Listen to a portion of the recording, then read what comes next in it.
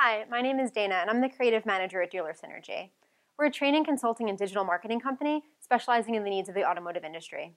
We've been a family owned and operated business for nearly 10 years now, located just outside of Philadelphia in Audubon, New Jersey.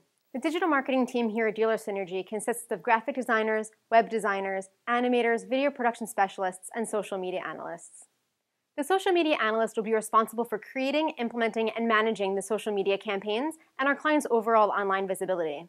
The day-to-day activities include finding and writing content and posting on social media websites. You'll be the liaison to our clients to ensure that all branding, identity, and voice are cohesive and being reflected properly.